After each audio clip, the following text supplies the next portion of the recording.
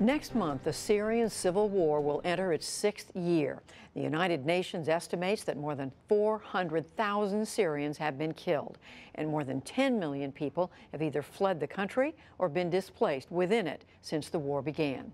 A documentary that's up for an Oscar on Sunday attempts to put a human face on that conflict. Jeffrey Brown has the story for our series, Beyond the Red Carpet. They are images at once shocking and strangely familiar. The daily destruction of Syria's civil war. But the Oscar nominated documentary short, The White Helmets, aims to get beyond the numbness of this conflict, now dragging into its sixth year.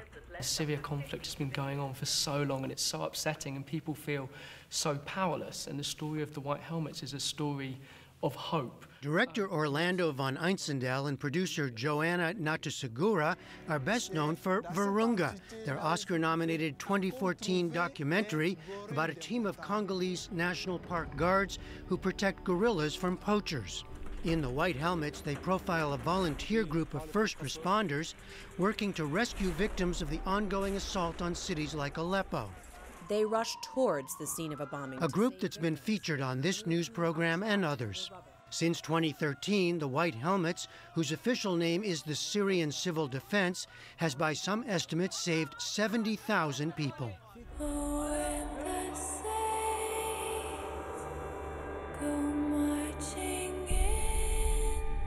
What we found most extraordinary was who the rescue workers were, this group of everyday Syrian civilians who had decided not to pick up a gun, had decided not to, to leave Syria, and instead had decided to stay and every day risk their lives to save their fellow citizens. And they're builders, tailors, bakers, just normal people. They're, they're truly real life heroes. What was it like to meet them? It was really nerve wracking at first. You know, we didn't know if they would live up to, you know, this incredible story that we, we thought we found. And actually, what we found was people that were even more heroic and inspiring than we had thought.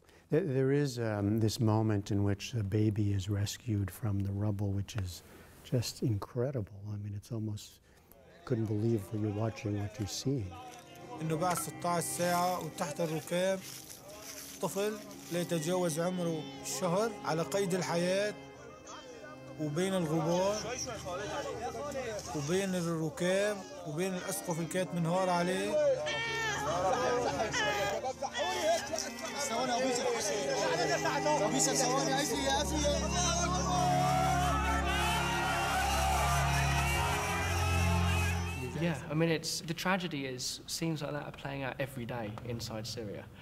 Um, but this particular rescue, the very fact that it's been documented, it, it, it acts as a, as a moment of hope and something to rally around that really there is still hope in Syria and there are very brave people doing incredible work. For safety reasons, interviews and some of the filming were done in Turkey, near the border and away from the immediate danger.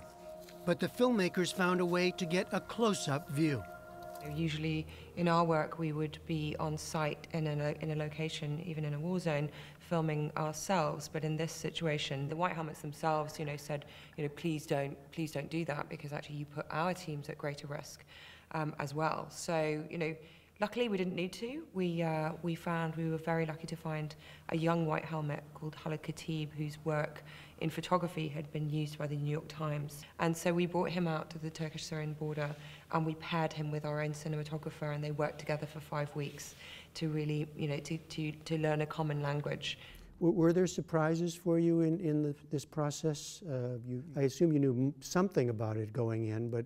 I think we knew going into this project just how the physical stress and the physical violence that the White Helmets experience on a daily basis, but we were really shocked by the emotional toll this mm. work takes on them. And even inside Turkey, which is relatively safe, the guys at the end of the training every day would, when they got their phones and they connected to Wi-Fi, they'd suddenly get this barrage of messages about the day's bombings, and they'd find out that colleagues had been killed, or, or mm. family members, or friends, and it was so shocking. And yet, despite all of that, they, these guys still have hope.